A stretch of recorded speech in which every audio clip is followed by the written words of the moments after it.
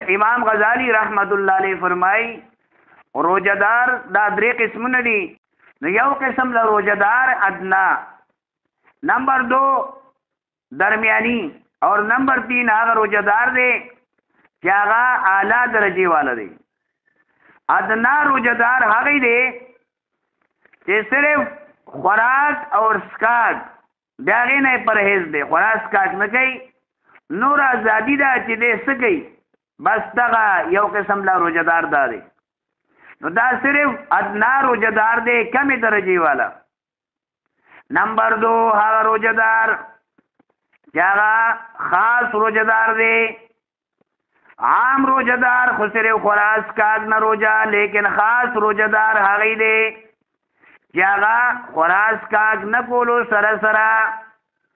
خپل د جسم اعلی با اندامونه دا د ګناهونو نه بچ ساتي جسم کې چې کوم آزاري آزامانه پرځي اندامونه لاس ته غوږ دی دارنګه سر دی اخبی دی ټول جسم دا د ګناهونو نه محفوظ او دارنګه بچ ساتي دې ته ویل کېږي خاص روزدار لکه حدیث پاک کې راځي فلیحفظ الراس وما وعا خپل د سر حفاظت وکړي پیغمبر علیه الصلاۃ والسلام فرمایي سر هر سړی پیژني خاص سر خپل د سر حفاظت وکړي وما وع او د سر چې سره ګیر کړی دي د دې حفاظت وکړي نو د سر حفاظت داري چې دا سر د الله نه سوا بل چاته کتکول نشته دی دا د سر حفاظت دی دنیا کې ډېر خلک داسې دی چې دا قیمتي سر هغه یعنی ځان لپاره خدایانې جوړ کړی دی د هغې عبادت اختیاري یا مسلمانانو ګورا چې یو غټه کبرای وګوري بس هغه ته سلام کوي سر وسره کته کړیږي نو د الله نه سوا چاته سر کته کول دا نشته لري سیده بسره چاته کوي الله ته بکیږي نو د سر حفاظت داري دارنګې سر چې سره ګیر کړی دي نو سر غوګونه راګیر کړی دی سر دومره کمال کړ دی غوګونه راګیر کړی دی سر چې کوم دی جبا خلای راګیر کړ دا سترګې راګیر کړی دی نیم اعضا چې کوم دی سر کې څومره قیمتي بورځي دي دماغ را ګیر کړی دي نو د دې حفاظت وکړي یعنی خپل د جسم د سر حفاظت او سر چې سر راګیر کړی دي د هغې حفاظت وکړي یعنی دا یعنی غلط مې استعمالوي خپل غوږونه دا صحیح استعمالوي زبان صحیح استعمالوي دماغ صحیح استعمالوي دی باندې یعنی غلط سوچ دا مکوي دا د سر حفاظت شو دارنګي پیغمبر اسلام فرمایل دی خېټه حفاظت وکړي او خېټه چې سره کې کړ دي د هغه حفاظت وکړي باقي جسم دې کې راغی ټول جسم په دې کې راغی په دې دوه الفاظو کې سر حفاظت وکړي سر چې سره کې کړی دي ګېډي حفاظت وکړي ګېډي چې سره کې کړی دي اخپونه واخله سره پوری باقي نیم جسم چې کوم دی دا لاسونه دي دارنګه خپې دي دا ټول هغه یعنی باقي جسم کې دي خو عبد الباقي لپاره له خیال ساتل پکار دي نو روزه صرف دې ته نه ویل کېږي چې انسان خوراک او اسکاک نه کوي نور د لپاره ازادي ده بلکې خورا سکاک دا عام روجدار دی خاص روجدار هغه دی چې خپل د جسم باقی اندامونه هغه د ګناهونو نه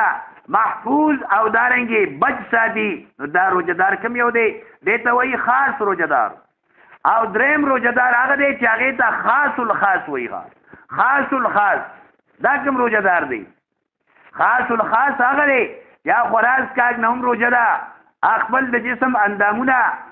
تمام اعضا هغه د ګناونو نه بچ ساتي او دې سره سره د د زړه چې دی هغه د سوا د الله نه بل چا طرف ته مایل کیږي نه پای کې صرف د الله تعالی ذات دی الله سره مینه ده نو دا خاص الخاص روجدار دغه دی لکه سرنګي یو بزر په باری کې راځي چې هغه به ساتوان کپل ښه دا یې خوراکو ساتوان د دې یو کپ خولې ته به واچوله ورپسې د اوبو یو لپه خوله به یې ساتله جبه دغه یې کارو دې سره یې پیارو نو چا دې تاسو کو چې دا څه وجه ده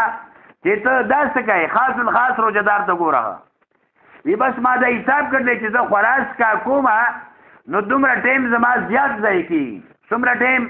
چای کې زه د شپې ته زلا سبحان الله ویل شم